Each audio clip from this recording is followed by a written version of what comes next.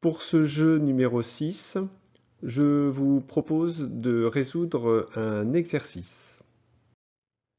Alors voici l'énoncé.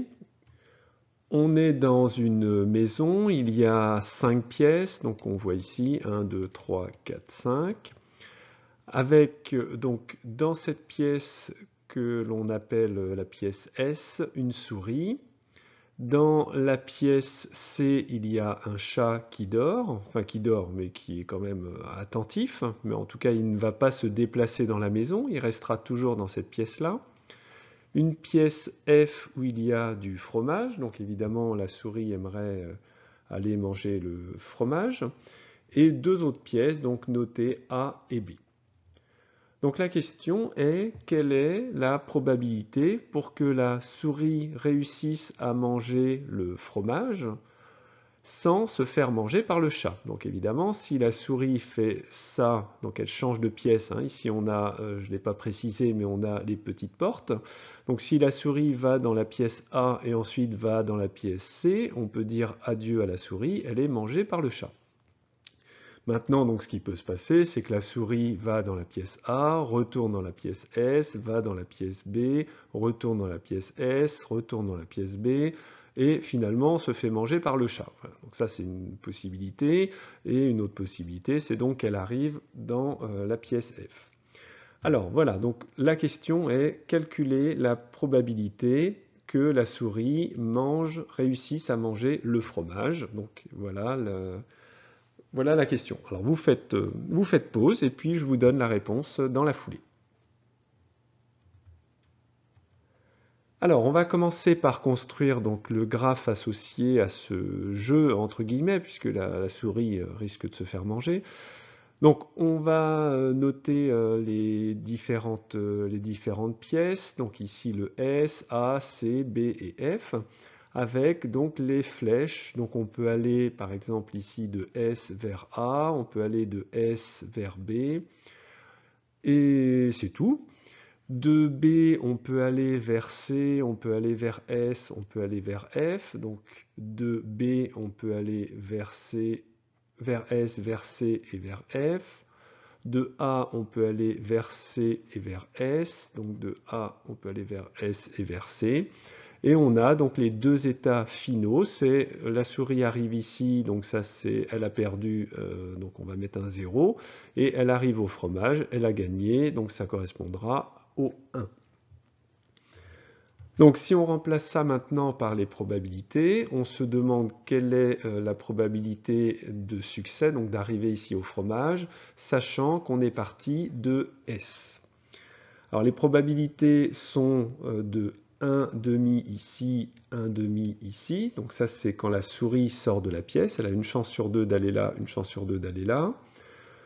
Quand on est en A, on a aussi une chance sur deux d'aller en S, une chance sur deux d'aller dans la pièce euh, du, chat. Donc ça, c'est 1 demi, 1 demi. Par contre, quand on est dans la pièce B, on a une chance sur 3 de retourner dans la pièce d'origine où était la souris d'aller vers le chat ou d'aller vers le fromage. Donc là, j'ai un tiers, un tiers, un tiers. Donc il s'agit maintenant de trouver le S, le A et le B, donc surtout le S qui nous intéresse. Donc on va commencer. Donc qu'est-ce qu'on peut dire? Si je commence par exemple par B, donc comme c'est divisé en tiers ici, un tiers, un tiers, un tiers, donc je vais avoir un tiers de 1, donc ça va faire un tiers, un tiers de 0, donc je n'ai pas noté, et un tiers de S, donc c'est le S sur 3. Donc voilà la première équation. Deuxième équation, donc en partant par exemple de S, là j'ai deux possibilités, 1 demi, 1 demi, donc ça fait 1 demi de A, 1 demi de B. Donc ce que j'ai noté ici. Alors c'est pas suffisant, il va falloir une troisième équation, donc je vais prendre le A, avec le 1 demi et le 1 demi, donc 1 demi de 0 et 1 demi de S, ça veut dire que A vaut 1 demi de S. Alors, est-ce que je peux me débrouiller avec tout ça? Donc on peut dire par exemple que le A, je le remplace par S sur 2. Donc le A qui est là, je peux le remplacer par S sur 2. Ça veut dire que le S que j'avais est égal à la moitié de A. Donc ça fait S sur 2 sur 2, donc S sur 4 plus le b sur 2, donc que j'ai recopié ici. En mettant maintenant le s sur 4 donc du côté gauche, donc ici 4 sur 4, on va arriver à 3 quarts de s est égal à b sur 2. Et donc en faisant le produit en croix, on aura s égal à 2b sur 3. Donc ça c'est intéressant puisque dans cette équation, je vais pouvoir euh, me ramener à une seule inconnue. Donc on arrive à b, donc le b qui est là, égal à 1 tiers, donc j'ai recopié le 1 tiers, et maintenant c'est 1 tiers de s, sachant que s c'est 2 tiers de b.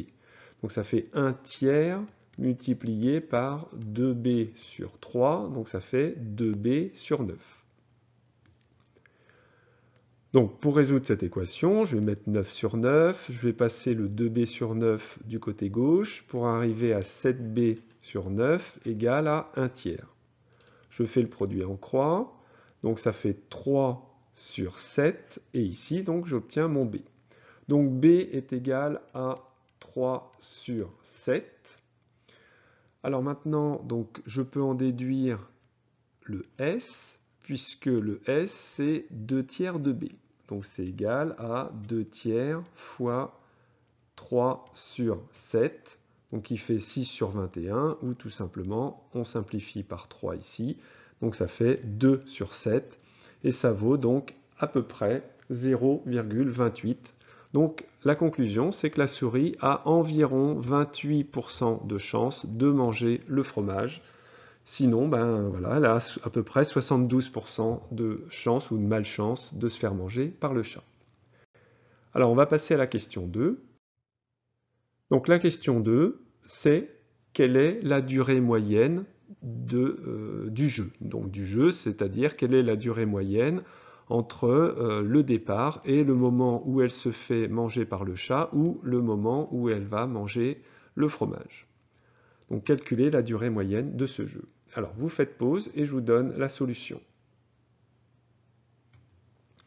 Alors on va repartir du graphe précédent. Et on va donc maintenant mettre les durées dans les différents états. Donc là où il y a le chat, la durée est 0 puisque le jeu est terminé. Et là où il y a le fromage, la durée est également 0. Alors maintenant, il s'agit de trouver S, B et A qui vérifient donc ce, ce, graphe. Donc pour B, donc pour B, on va avoir les trois possibilités, donc un tiers, un tiers, un tiers. Donc on commence par dire on a, si on est en B, pour arriver à l'état suivant, il y a un pas à faire, donc il faut que la souris bouge d'un mouvement, donc ça fait un pas, plus S sur 3, plus 0 sur 3, plus 0 sur 3. Donc on arrive à B égale à 1 plus S sur 3.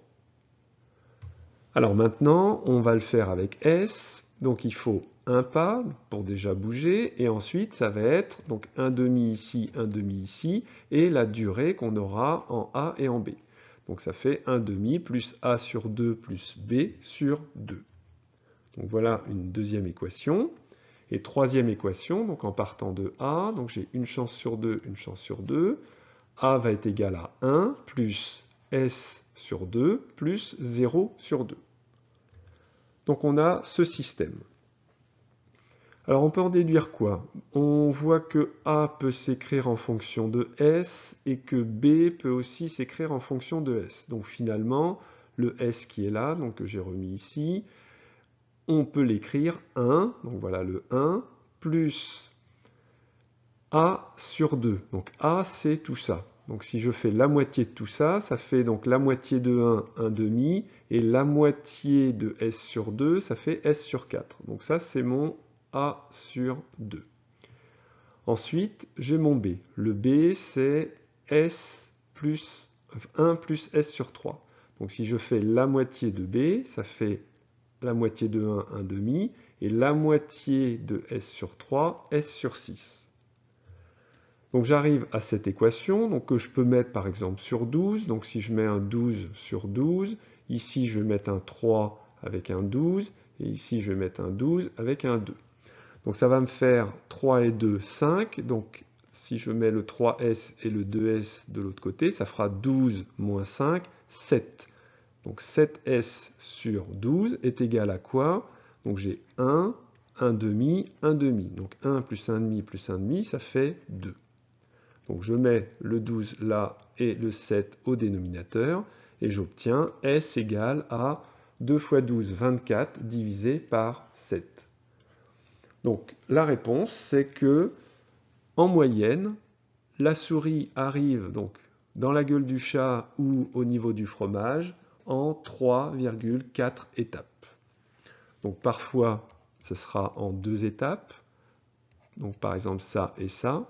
Parfois, donc elle va faire ça, une, deux, trois, quatre, ou un, 2, alors je reviens, 2, 3, je remonte ici, 4, donc voilà, après elle pourrait revenir ici. Donc ça pourrait durer effectivement très très longtemps, elle pourrait très bien aller là, revenir là, repartir là, revenir là, un certain nombre de fois avant d'arriver au fromage ou dans l'autre salle, mais en moyenne, on, finit le jeu en 3,42 euh, étapes. Donc voilà pour cet euh, exercice.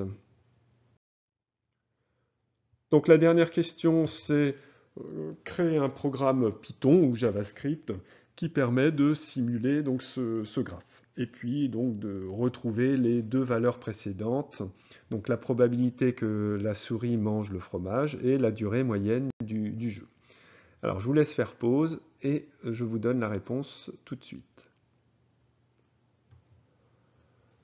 Donc voilà le programme, il suffit de reprendre donc ceux des vidéos précédentes et d'aller préciser quel est le graphe et quel est l'ensemble final.